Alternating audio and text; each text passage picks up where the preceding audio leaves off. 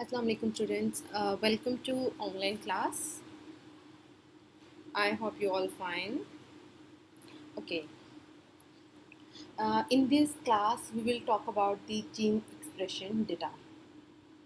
I uh, hope कि आप लोगों को जीन एक्सप्रेशन डेटा के बारे में काफ़ी चीज़ें पहले से पता होंगी बट uh, ये लेक्चर मैंने उन स्टूडेंट्स के लिए रखा है जिनको इतना अच्छा इन चीज़ों के बारे में जीन एक्सप्रेशन का कभी उन्होंने टर्म नहीं, उनको लाइक इस टर्म का नहीं पता, या इन्होंने लाइक कुछ टर्म्स के बारे में नहीं पता, या मेथड्स वगैरह के मेरे बारे में नहीं पता किस तरह जीन एक्सप्रेशन डेटा को हम गेट करते हैं तो बहुत बेसिक सा लेक्चर है। आई होप आप लोगों को इसकी समझ आएगी।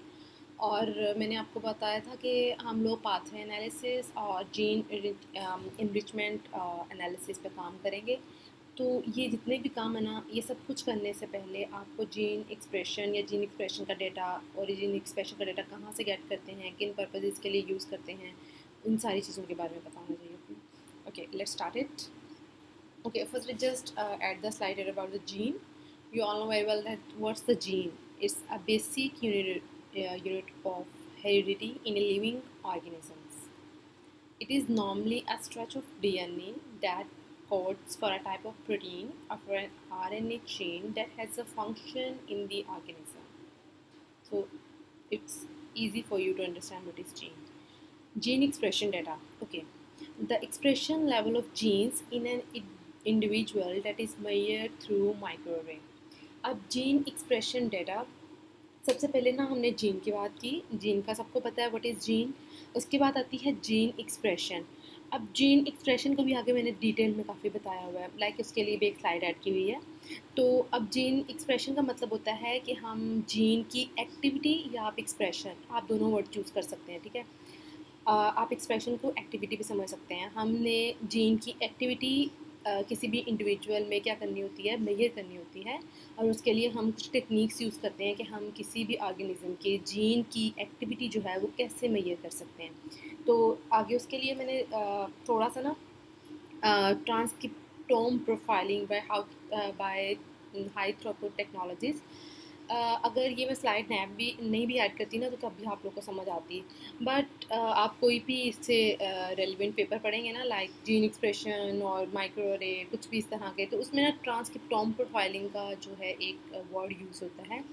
तो ये जस्ट बताने के लिए कि ट्रांसक्रिप्टोमिक प्रोफाइलिंग क्या होती है। लाइक like अगर आपको जीन एक्सप्रेशन डेटा का पता है ना तो फिर आपको ट्रांसक्रिप्टॉम प्रोफाइलिंग का भी पता होना चाहिए। इसलिए जस्ट मैंने ये ऐड की थी उसमें। So transcriptome profiling that's represent a static gene expression state of a biological sample across the genome and it allows for the direct genomic comparisons with multiple samples to determine genes that exhibit different expression in different state. Transcriptome uh, uh, से पहले आप लोगों को transcription का पता होगा ना transcription like आपके डीएनए जो है वो मैसेंजर आर में जब कन्वर्ट दैट्स अ ट्रांसक्रिप्शन अब हम अपना, हमारा जो ट्रांसक्रिप्टोम आता है, उसकी आपने प्रोफाइलिंग करते हैं. That's simple you know simply profiling अब ये प्रोफाइलिंग हमने करनी क्यों है? क्योंकि हम अपना जो जीन एक्सप्रेशन का जो हमारा डेटा है, हम उन्हें क्या करना चाह रहे हैं? जीन एक्सप्रेशन का डेटा अब जीन की एक्टिविटी का डेटा ही कहेंगे ना उसे। तो उसको हम क्या करना चाह रहे हैं? हम उसको कंपेयर करना चाह रहे हैं डिफरेंट स्टेट में। अब ये जो डिफरेंट स्टेट लिखी हुई है ना, इसका मतलब है एक आपके पास नॉर्मल पर्सन है और एक कैंसरस पर्सन है, ठीक है? जिसको ट्यूमर कोई भी इस तरह से है। या आप ये भी कह सकते हैं एक नॉर्मल पर्सन है और एक डायबिटिक पर्सन है। कोई भी डिज़ीज़ के साथ आप इसको कंपेयर कर सकते हैं। तो बताने का मतलब ये है कि आपको ट्रांसक्रिप्टॉम प्रोफाइलिंग हम क्यों करके रखते हैं, उसका फ़ायदा ये होता है कि अगर आपके पास प्रोफाइलिंग होगी ना लाइक आपके ना एक नॉर्मल ह्यूमन है, आपने ना उसकी एक्सप्रेशन डाटा लाइक उसकी ना ट्रांसक्रिप्टॉम की प्रोफाइलिंग करके आपने डेटाबेस में रखी हुई है ओके अब जब भी किसी पर्सन को डायबिटीज़ या कैंसर होगा तो आप क्या कर सकते हैं कि उसके जो डिज़ीज़ पेशेंट है, उसकी प्रोफाइलिंग जो है, उसकी प्रोफ़ाइल को जो नॉर्मल पर्सन है, उसके साथ आप कंपेयर कर सकते हैं और देख सकते हैं कि चिकन जीन्स में डिफेक्ट आया है या किन का चिकन जीन्स का एक्सप्रेशन जो है डिफरेंशियल एक्सप्रेशन का मतलब है कि एक ही जीन है, वो नॉर्मल पर्सन में और तरह बिहेव कर रही है और जो कैंसरस पेशेंट है, उसमें और तरह से बिहेव कर रही है, ठीक है? अब और तरह से बिहेव करने का मतलब ये होता है कि मे बी एक नॉर्मल पर्सन में एक जीन जो है वो लाइक ऑन है। सपोज़ करें ऑन है और जो कैंसर पेशेंट है, उसमें वो ऑफ़ है लाइक वो वर्क ही नहीं कर रही। या आप दूसरी सेंस में इसको इस तरह भी समझ सकते हैं कि एक जो नॉर्मल पेशेंट नॉर्मल पर्सन है, उसमें इस तरह से हम कह सकते हैं कि एक जिन जो है वो एक्सप्रेशन जो है उसका एक्सप्रेशन जो है हम सपोज़ के हैं वो नॉर्मल नॉर्मली एक्सप्रेस्ड होकर अपना वर्क कर रही है लाइक प्रोटीन या आर वगैरह फर्दर बना रही है। बट अगर सपोज़ किसी पर्सन को कैंसर हुआ है तो ऐसा हो सकता है कि वही वाली जीन जो है, उस पर्सन में बहुत ज़्यादा ओवर एक्सप्रेशन दे रही हो, जिसकी भैया ये दो टर्म्स होती हैं तो ओवर एक्सप्रेस होती है या अंडर एक्सप्रेस होती है ठीक है ना? तो इन दोनों में से कोई भी एक्सप्रेशन दे रही है तो इसका मतलब है कि आप देन वो हम कह सकते हैं कि ये डिज़ीज़ कॉज हुई है। तो ट्रांसक्रिप टॉम प्रोफाइलिंग जो हमारे पास होती है वो एक नॉर्मल पर्सन की होती है और उसके बाद हम उसको क्या करते हैं कंपेयर करते हैं जो भी कैंसर पेशेंट या कोई भी तरह से किसी भी डिज़ीज़ कॉजिंग जो आ, कोई भी लाइक पेशेंट होगा उसकी प्रोफ़ाइल से हम लोग क्या करते हैं कंपेयर करते हैं। Okay, then it allows for hypothesis uh, generation on molecular abnormalities and mechanisms that may contribute to tumour phenotypes so it's the same thing कि मैंने आपको जो बताया ये भी सारी वही चीज़ें हैं जिस provide the information on molecular subtypes the development of the prognostics and the predictive molecular signature तो जो अच्छा जो हमारे पास एक्सप्रेशन प्रोफाइलिंग है, ये आपको ये भी बताएगी कि लाइक के जो एक्सप्रेशन प्रोफाइलिंग में ना आप लोग मार्कर्स का शायद आप लोगों को पता होगा। हम लोगों के पास कुछ genes as a biomarker के तौर पे काम करती हैं ना। अब वो बायो मार्कर किस लिए होते हैं? सपोज़ कोई पर्सन है, उसमें अगर हमने डिज़ीज़ को डायग्नोज करना है कोई कैंसर का पर्सन है कैंसर पेशेंट है तो उसमें अगर हमने डिज़ीज़ को आपने डायग्नोज करना है तो आप, जो जीन्स एक्ट कर रही होंगी एज अ बायो मार्कर आप उनको यूज़ कर सकते हो डायग्नोसिस वगैरह में ठीक है? And then we have two main technology like ये एक्सप्रेशन डेटा जो है ये आता कहाँ से है? लाइक like हम लोग कौन सा डेटा ये जो ट्रांसक्रिप्टॉन प्रोफाइलिंग में हम डेटा आता यूज़ uh, करते हैं ये डेटा कहाँ से आता है? तो हम दो टेक्नोलॉजीज़ यूज़ करते हैं। The first one is microarray and the second one is DN, RNA sequencing that you can uh, you can also call RNA-seq using the next generation sequencing and I think आप इन दोनों technologies से ना familiar होंगे या आपने at least इनका नाम सुना होगा। So here I note something about the gene expression just our definition Gene expression is a process by which the instruction in our DNA are converted into a functional product such as RNA, uh, such as protein. और आप ना protein के अलावा ये भी कह सकते हैं कि कोई आर एन ए वगैरह अगर ये दे रहा है ना तो जैसा जीन एक्सप्रेशन लाइक जीन जो है वो एक्सप्रेस करके अगर कोई ना कोई जो है वो वर्क कर रही है so when the information stored in our D N A is converted into instruction for making protein और other molecule is call the gene expression so gene expression is tightly regulated process that allow the cell to respond its changing environment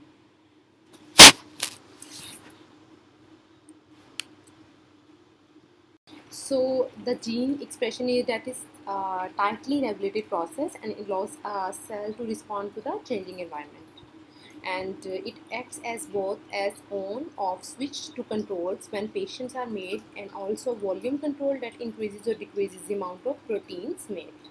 So the last one is the there are the two key steps involved in making a protein. The first one is transcription and the second one is translation. So I know this is a very basic slides and आप में से काफ़ी लोगों को ये बातें हमने F S C और इस तरह में पढ़ी हुई हैं। या बी एस वगैरह में आपने स्टार्टिंग सेमेस्टर से पढ़ी होंगी, ठीक है? तो जस्ट ये आप लोगों को रिकॉल के लिए मैंने ऐड किया है।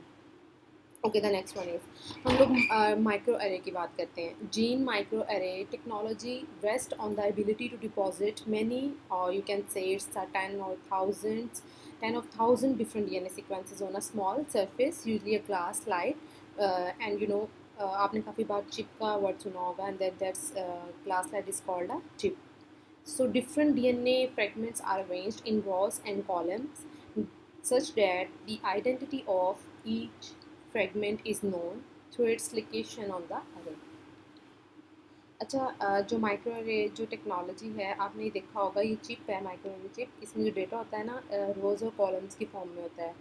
तो जो डेटा जब रोज़ और कॉलम्स के फॉर्म में दिया होता है तो हम इसको मैट्रिक्स बोलते हैं ना। तो यहाँ पर हमें माइक्रो अरे डेटा जो टेक्नोलॉजी है, वो किन पे वर्क करती है? Ten of thousands different D N A sequences पे एट अ टाइम जो है, ये वर्क करती है। और आपको उनका जो डेटा वगैरह है, वो मैट्रिक्स के फॉर्म में ये प्रोवाइड करेगी। So it measures expression level for almost twenty thousand genes and each gene is represented by a single pixel that's called a probe तो जो हर एक एक जीन होगी ना, उसको आप कहेंगे, क्या बोल सकते हैं इसको? लाइक उसको प्रॉप कह सकते हैं, ठीक है ना? तो माइक्रो रे के डाटा में जब भी प्रॉप की बात की होगी तो आपने समझते हैं वो सिंगल जीन है। Okay so R N A seq data R N A seq जो है वो किसकी एब्रीवेशन है? R N A sequencing technology की एब्रीवेशन है। It's a particular technology that's based sequencing techniques, which uses next generation sequencing NGS तो NGS के बारे में हमने क्लास में भी थोड़ी चीज़ें डिस्कस की थी और मैंने आप लोगों को कुछ असाइनमेंट्स भी छोटे सी दे दी, ठीक है ना? तो आर एन ए सिक्वेंसिंग क्या होती है? उसमें नेक्स्ट जनरेशन सिक्वेंसिंग के थ्रू हम लोग क्या करते हैं? We reveal the presence and quantity of R N A in a biological sample at a given moment analysing the continuously changing this cellular transcriptome तो आर एन ए सिक्वेंसिंग जो है वो नेक्स्ट जनरेशन बेस्ड सिक्वेंसिंग है जिसमें आप क्या करते हो R N A R N A को आपने क्या करना है क्वांटिटी उसकी या उसकी प्रेजेंस दोनों चीज़ें प्रेजेंस एंड क्वांटिटी जो है वो क्या करते हो एट अ गिवन मोमेंट आप लोग क्या करते हो उसको एनालाइज uh, करते हो ओके तो आपको आर एन ए जो सिक होता है वो आपको जितना भी आर एन ए का मटीरियल है उसकी सिक्वेंसिंग करके देता है और द माइक्रो रे जो है, ये थोड़ी सी कन्वेंशनल मेथड है और आजकल जो हम लोग एक्सप्रेशन का डेटा जो है, वो ज़्यादातर आर एन ए सिक के थ्रू जो है ना हम लोग गेट कर रहे हैं। ओके इसमें था कि it's just a comparison between microarray and R N A seq so application with user interface RNA analysis Galaxy can only handle, very few samples. अब इसमें थोड़ा लिखा हुआ था कि इसमें यह है कि अगर माइक्रो रे और आर के डेटा को हमने इस तरह से कंपेयर किया हुआ है कि बायोइन्फॉर्मेटिक्स में क्या चैलेंजेस हैं इसमें। तो जो आर एन का डेटा है ना, उसमें ये है कि आपके पास ज़्यादा सॉफ्टवेयर बहुत ज़्यादा नहीं है जो इसको मतलब इसके डेटा की एनालिसिस के लिए आप यूज़ कर सको। जस्ट आप गलेक्सी का सॉफ्टवेयर ना, पूरा एक काफ़ी अच्छा सॉफ्टवेयर है ये वाला।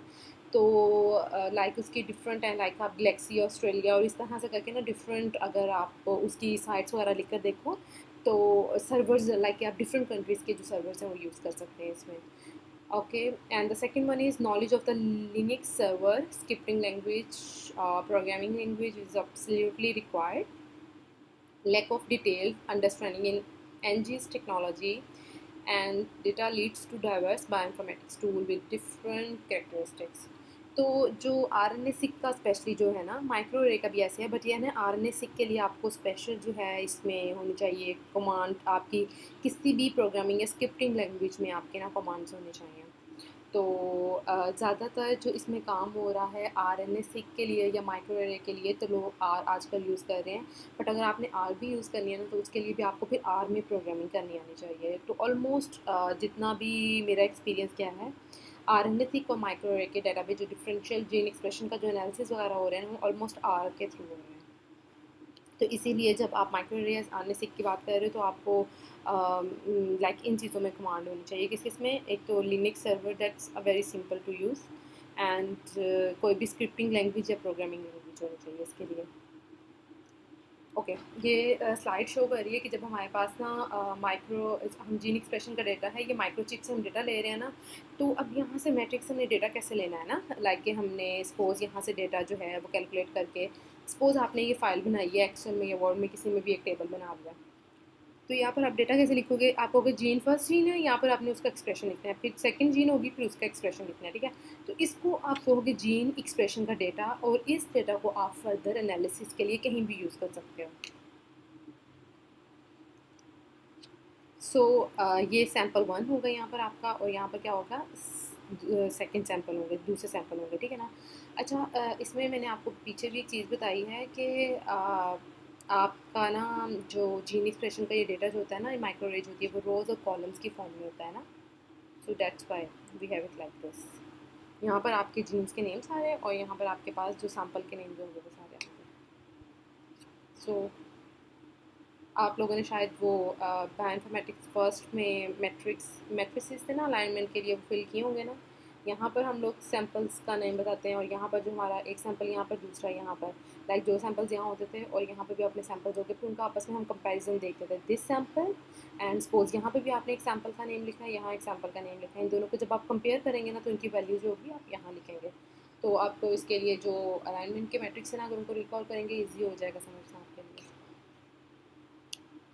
Okay the next one is clustering so clustering में क्या होता है? आप क्लस्टरिंग क्यों करते हैं ताकि आप क्या कर सकें? कोई भी सिमिलैरिटी या डिसिमिलैरिटी जो है, वो फाइंड कर सकें डेटा में। So clustering is a unsupervised classification of patterns including observation data sets and feature vector into the groups called cluster such that objects in the same cluster are similar to each other while objects in different cluster are dissimilar as possible तो clustering में हम इस तरह से करते हैं कि अपने डेटा को डिफरेंट क्लस्टर्स में डिवाइड करते हैं। डिफरेंट क्लस्टर में किस तरह से हम डिवाइड करते हैं? हमें होता है कि ये एक क्लस्टर है, ये सेकंड क्लस्टर ये थर्ड क्लस्टर आप जो फ़र्स्ट क्लस्टर का डेटा है, ये जो डेटा पॉइंट्स है ना सर्कल नज़र आ रहे हैं, ये अपने ही दूसरे डेटा पॉइंट से तो सिमिलर होगा बट ये दूसरा जो क्लस्टर है ना, इसके डेटा पॉइंट से क्या होगा? डिसिमिलर होगा। This is called the clustering so cluster analysis में क्या होता है? आपके पास सबसे पहले जो आपका डेटा है, आपने वहाँ से स्टार्ट करना है। अगर आपने क्लस्टर एनालिसिस करना है, वहाँ पर आपने अपने डेटा की प्री प्रोसेसिंग करनी है। प्री प्रोसेसिंग में क्या होता है? आपने अपने डेटा को फ़िल्टर करना है और आपने अपने डेटा को नॉर्मलाइज करना है। अच्छा फ़िल्टर में तो है ना कि आपने डिफरेंट स्टेप्स के थ्रू आप उसको, जो भी आपकी रिक्वायरमेंट है रिक्वायरमेंट के मुताबिक आप अपने डेटा को फ़िल्टर कर सकते हो। और आपके पास डिफरेंट होता है कि आपको जीन का नेम चाहिए, आपको फर्दर उसका कोई सेशन नंबर चाहिए तो आप इस तरह से करके उसे फ़िल्टर कर लोगे। नॉर्मलाइज होता है कि अगर आपका डेटा जो है वो नॉर्मल नहीं है तो आप उसको स्टैट के डिफरेंट मेथड यूज़ करते हुए ना, आप उसको नॉर्मल करोगे। और ये जब प्रैक्टिकल में काम किया जाता है ना, वहाँ पर आपको ना ग्राफ दिया जाता है। सबसे पहले हम ग्राफ ड्रॉ करते हैं, जैसे बॉक्स प्लॉटिंग होती है ना तो हम अपने डेटा की प्लॉटिंग करके देखते हैं कि हमारा डेटा जो है वो नॉर्मलाइज है कि नहीं। तो अगर वो नॉर्मलाइज नहीं है तो हम उसे कोई भी लॉग में ट्रांसफॉर्म कर सकते हैं। इस तरह से डिफरेंट मेथड्स हमारे पास होते हैं। वो हम यूज़ करते हुए अपने डेटा को पहले नॉर्मलाइज करेंगे और उसके बाद उसकी क्लस्टरिंग करेंगे। क्लस्टरिंग के बाद अपने डेटा को किसी भी एनालिसिस के लिए यूज़ कर सकते हो। पाथ में एनालिसिस करो या फिर जीन इनरिचमेंट एनालिसिस करना है फंक्शनल एनालिसिस को परफॉर्म करना है तो दैन हम उसे यूज़ कर सकते हैं। क्लस्टरिंग में सिंपल गिवन द एन और एम डेटा मैट्रिक्स इसमें ये रॉज और ये कॉलम्स हो सकते हैं। We can cluster the set of gene आप जीन के सेट को क्लस्टर कर सकते हो सैम्पल्स को। अभी कौन कौन से सैंपल हैं? सैम्पल्स यहाँ पर आप समझ सकते हैं पेशेंट्स को ना, कि पेशेंट ये जो हमने सैम्पल्स की बात कर रहे थे ना, आप यहाँ समझ सकते हो पेशेंट वन का सैंपल पेशेंट टू से आपने सैंपल लिया है। सपोज़ ये किसी कैंसर के पेशेंट का ना आप जीन मैट्रिक्स बनाना चाह रहे हो तो यहाँ पर क्या करोगे? पेशेंट वन से जो लिया है पेशेंट टू का। आप कोई भी पेशेंट का नाम तो नहीं हमने यहाँ लिखना। जब पेशेंट से डेटा लिया जाता है तो उसे कोई ना कोई आईडी तो साइन की जाती है ना, यहाँ पर उनकी आईडीज़ यूज़ कर सकते हो ना। Cluster the set of gene and samples simultaneously तो आप जीन्स और सैम्पल्स को साइमल्टेनियसली जो है, वो भी क्लस्टर कर सकते हो।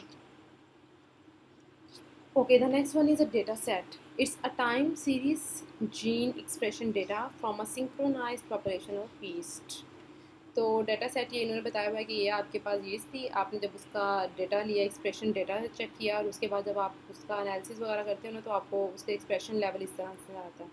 ये आपको प्रॉपर इसको रीड करना होता है ना, ये आपको डिफरेंट कलर्स में नज़र आता है। तो किस चीज़ का एक्सप्रेशन बहुत ज़्यादा हुआ है। यहाँ पर सपोज़ अगर आप कैंसर और नॉर्मल पेशेंट में का जीन एक्सप्रेशन का डाटा कर रहे हो ना तो वो आपको यहाँ पर ना कर्व बताएगी। सपोज़ यहाँ पर आपको एक करने, अगर ये तो ना बहुत ज़्यादा जीन है, इसलिए आपको इतना कम्प्लेक्स किस्म का नेट नज़र आ रहा है। तो अगर आपके पास लाइक इसको भी ना हम जूम करके रीड करना होता है या फिर डिफरेंट वेज में इसको स्प्लिट करके आप रीड कर सकते हो। तो ये है कि यहाँ पर अगर आपने देखा होगा कि सपोज़ यहाँ कर लें, यहाँ दो कर्व्स हैं, ठीक है ना? एक जीन की दो कर्व्स आ रही हैं, एक नॉर्मल के लिए, एक इसके लिए आ रहा है डिज़ीज़ जो पेशेंट है उसके लिए आ रहा है, ठीक है? तो आप कह सकते हैं कि नॉर्मल में ये जो थी, इतना एक्सप्रेशन लेवल था सपोज़ फोर था यहाँ पर तो जो जो डिज़ीज़ पेशेंट है वहाँ पर सपोज़ एट हो गया। तो ये जीन तो फिर आप जहाँ कंक्लूजन में दोगे कि ये वाली जो जीन थी ये जो कैंसर का पेशेंट है उसमें ये ओवर एक्सप्रेस हुई है इस वजह नॉर्मल पेशेंट से क्योंकि आपने कंपेयर किया ना डेटा को तो आप कह सकते हो कि ये ओवर एक्सप्रेस हुई है जिसकी वजह से यहाँ पर एबनॉर्मेलिटी जो है वो कॉज हुई है this is a simple one. It's a uh, data a time series gene expression data from a synchronized population of yeast. तो ये yeast का बताया हुआ है कि इन्होंने किस बेस पे ना जीन एक्सप्रेशन डेटा जो गेट किया हुआ है तो इन्होंने एक सेल साइकिल का उसका देखा हुआ है इसकी फेजेस जो हैं लाइक द जीनो जो है पोस्ट माइटोटिक जो है, उसके बाद ग्रोथ फ़ेज़ और इन ऑल लेवल्स पे ना सेल के सेल साइकिल के हर लेवल पे उन्होंने क्या किया हुआ है, इसका एक्सप्रेशन डेटा जो है वो कैलकुलेट किया हुआ है। आगे बताया उन्होंने कि उस डेटा की इन्होंने क्या की हुई है प्री प्रोसेसिंग की हुई है। तो प्री प्रोसेसिंग कैसे की हुई है? इन्होंने remove genes not involve in cell cycle regulation remove gene belonging to more than one group तो इन्होंने सिंपल ये किया हुआ है कि आपके पास जितनी जो जीन्स जो हैं इन्वॉल्व नहीं थी सेल साइकिल में, या जो जो थी मोड एक से ज़्यादा ग्रुप से इन्वॉल्व थी तो इन्होंने फ़िल्टरिंग में, आप ये फ़िल्टरिंग था ना, ये हार्ड एंड फास्ट कोई रोल नहीं है। आप अपना कोई भी, आपको पता होगा अपने प्रोजेक्ट के हिसाब से आप अपना डाटा जो है वो फ़िल्टर कर सकते हैं। So the next one is all normalisation करनी है। जब भी आप एक्सप्रेशन के डेटा पे माइक्रोरे या आर एन एस जिसके थ्रू भी आपको एक्सप्रेशन डेटा मिला होगा तो you have to keep it in your mind कि आपने मस्ट सबसे पहले उसकी प्री प्रोसेसिंग करनी है। प्री प्रोसेसिंग में जो सी टू स्टेप्स होते हैं, आपने फिल्टरिंग करनी है और उसके बाद अपने डेटा को नॉर्मलाइज करना है। डेटा को नॉर्मलाइज किए बगैर आपने फर्दर मैसेज परफॉर्म नहीं करना। All gene expression values range from minus one to one तो जीन एक्सप्रेशन वैल्यूज़ जो हैं, वो माइनस वन से वन के बिटवीन होती हैं। Okay, so this is a data matrix. Suppose यहाँ पर कितने जीन्स हैं? थ्री एटी फोर जीन्स हैं और सेवन सैम्पल्स हैं। सेवन सैम्पल्स से मुराद है कि ये सेवन पेशेंट से लिए गए हैं, ठीक है? तो सेवन पेशेंट्स हैं और उनकी जो जीन्स वगैरह हम कितनी हैं? थ्री एटी फोर पे हमने गेट की हैं विद दी फाइव क्लासिफिकेशन उनकी हमने फाइव क्लासिफिकेशन की हुई है। ग्रुप वन ग्रुप टू और ग्रुप थ्री का नाम दिया हुआ है। अब जो जीन होंगी ना सपोज़ वो एक से ज़्यादा ग्रुप में है तो उन्होंने डेटा फ़िल्टर कर दिया है कि हम उसको इग्नोर करेंगे फ़िल्टर में उसको रिमूव करेंगे। So grouping based from the cell cycle phase activation तो इन्होंने यहाँ पर जो सेल साइकिल ये पीछे दिखाया हुआ था ना, इसकी बेस पर उन्होंने इसकी ग्रुपिंग की हुई है। तो ये जस्ट तब है कि आपके पास कोई डेटा वगैरह है। आप देख रहे हो किस लेवल का आपने डेटा यूज़ किया जीन एक्सप्रेशन का कैलकुलेट करने के लिए। तो उसके बेस पे आप क्या कर सकते हो? ग्रुप्स डिफरेंट बना सकते हैं। So next is a clustering of gene यहाँ पर वही जीन की हमने क्लस्टरिंग की है। और जीन एक्सप्रेशन का ये जो डेटा है ना, इस तरह से हमें ग्राफ शो होता है। इसमें भी हमें रीड करना होता है। Approximate the five grouping of genes based from the phases of cell cycle तो इसमें यहाँ पर एक होता है लेबल्स वगैरह होते हैं, वो जीन के बारे में ना, यहाँ जीन का नाम बता रहा होता है ना, ठीक है? और अगर आपने ग्रुप्स वगैरह डिफरेंट यूज़ किए हैं तो ग्रुप्स के नेम भी यहाँ चल रहे होते हैं। तो दिखाने का मतलब ये है कि एक तरह के ना ये हीट मैप्स हैं, जो कि जीन के एक्सप्रेशन को शो करने के लिए ना इस तरह के होते हैं heat maps okay so next इसमें ये था, मैंने जस्ट ये इसलिए ऐड किया था कि आप जीन सेट एनालिसिस की जब हम बात करते हैं ना तो उसका मतलब है आप, अपना जो माइक्रोवे से या आर एन सिक्स से आपने अपना डेटा गेट किया हुआ है ना एक्सप्रेशन डेटा जो है आपके पास, आप उस पर इनमें से कोई भी काम कर सकते हो। मैनी नेम्स फॉर जीन इसका मतलब है कि अगर जीन हेड एनालिसिस की बात हो ना तो आप इनमें से कुछ भी एनालिसिस कर सकते हो। Functional annotation pathway analysis gene set enrichment analysis ये मैं आपसे कही थी ना कि मैं आप लोगों को बताऊँगी और ये वाला भी हमने करना था। तो इन सारे सबसे पहले हमें एक्सप्रेशन डेटा के बारे में पता होना चाहिए। गो टर्म एनालिसिस ये आई थिंक आप लोगों को पता है हम लोग कर चुके हैं। जीन लिस्ट इनरिचमेंट एनालिसिस तो आ, सबसे आ, मैंने पहले ये वाला लेक्चर इसलिए नहीं रखा कि आई वॉज़ थिंकिंग कि आप लोगों को ये बहुत बेसिक चीज़ें पता होगा। तो जब आप स्टूडेंट्स होते मुझसे ग्रुप में क्वेश्चन वगैरह पूछ रहे थे ना तो मुझे आइडिया हुआ कि आप लोगों को शायद इतना, आप में से काफ़ी स्टूडेंट्स हैं जिनको नहीं पता। तो ये मैंने इसलिए ये वाला लेक्चर ऐड किया है कि ये अगर हम लोगों को पाथवे एनालिसिस या गो टर्म की बात करनी थी ना तो सबसे पहला लेक्चर इसको होना चाहिए था। तो उस time I was not known कि आप लोगों को इनका नहीं पता। बट आई होप कि अब आप सबको समझ आ गई होगी कि जीन एक्सप्रेशन की जब बात होगी तो माइक्रोवेव डेटा क्योंकि जब आप डेटा बेसिस इसका डेटा गेट करेंगे ना तो वहाँ स्पेशल लिखा होता है कि ये माइक्रोवेव से है, या R N A seq high throughput sequencing इस तरह लिखा होता है पूरा नेम तो ये किस लेवल का डेटा है और यहाँ प्रॉप का अगर वर्ड यूज़ किया तो प्रॉप का क्या मतलब है? क्योंकि प्रॉप मैंने आपको बताया ना जीन्स होती हैं ना। प्रॉप्स क्या कहेंगे तो वो जीन्स होंगी अपने अपने डेटा को फ़िल्टर करना है प्री प्रोसेसिंग करनी है, उसके बाद एनालिसिस की तरफ़ लेकर जाना है। तो आई होप कि आपको भी चीज़ें समझ आ गई, उसके बाद हम लोग ये एनालिसिस पे काम कर सकते हैं। गो टर्म इसमें से हमने कर लिया है। नेक्स्ट हम लोग जीन सेट एनरिचमेंट की बात करेंगे। और फिर उसके बाद हम लोग पाथवे एनालिसिस पे आएँगे। और देन फ़ंक्शन एनोटेशन को और जीन लिस्ट ये ऑलमोस्ट ये जो है ना जीन लिस्ट और जीन सेट ये ऑलमोस्ट एक ही चीज़ होती है ना। इसमें जीन सेट होता है, उसमें जीन्स की ना सेपरेट एक लिस्ट दी होती है इंडिपेंडेंट लिस्ट एक होती है। तो आई थिंक आई होप कि आपको यहाँ से सीखने को काफ़ी कुछ इसमें से मिलेगा। सो so, स्टूडेंट्स आप uh, कुछ भी इसमें से I am not I am thinking कि इसमें कुछ नहीं है ऐसा uh, जो समझ नहीं आया हो। बाकी अगर आपको समझ नहीं आया तो आप मुझे व्हाट्सएप uh, पे मैसेज कर सकते हैं ग्रुप में या फिर uh, आप लोग इसके मतलब ना आप लोग पेपर्स वगैरह पढ़ेंगे ज़्यादा, ठीक है? कि आप, जो मैंने बुक्स वगैरह आपको कुछ रिकमेंड की हुई है ना आई थिंक मैंने आप लोगों को रिकमेंड की हुई है। तो उसमें भी ना एक्सप्रेशन डेटा के बारे में लिखा होता है और इससे भी बेस्ट ये है कि आप कोई भी review paper gene expression data के मतलब पढ़ें। उसमें माइक्रोवे और आर एन ए सिक्वेंसिंग का बहुत ज़्यादा डिटेल में लिखा होता है और अगर आप ये वाला पेपर जीन एक्सप्रेशन में किसी भी कैंसर के हवाले से पढ़ेंगे ना तो फिर आपको ज़्यादा समझ आएगी। क्योंकि उसमें नॉर्मल और डिज़ीज़ पेशेंट दोनों के हिसाब से जीन एक्सप्रेशन डेटा का आपको बताया होगा। Okay then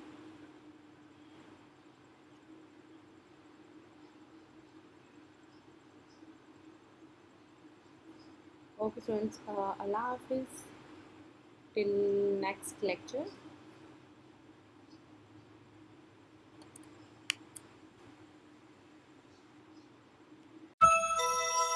The events going on in our cells can be compared to an orchestra playing a symphony.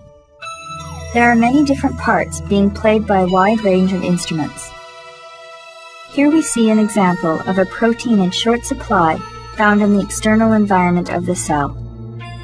Proteins interact with specific receptors on the cell's outer membrane to trigger a cascade of events leading to the expression of specific genes and the production of this protein. Membranes regulate the movement of substances in and out of the cell through a wide range of mechanisms.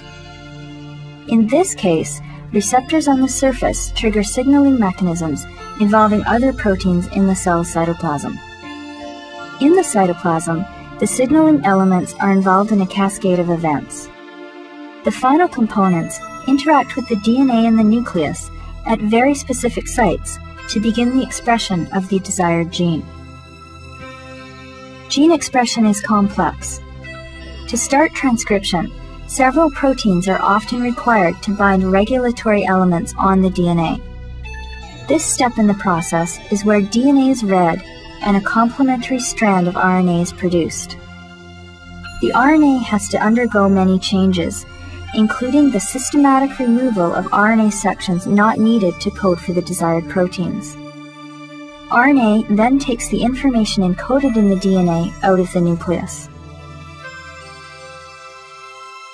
In a process called translation, ribosomes interact with the messenger RNA and transfer RNAs to create the chain of amino acids coded for on the DNA. This amino acid chain undergoes changes in configuration, including specific folding. Each protein takes on a 3D shape required for a functional end product. As the new protein leaves the cell and takes on its role in the body, the cycles of cell function and gene expression carry on. The amazing symphony of cellular interactions continues, and the music, which is life, plays on.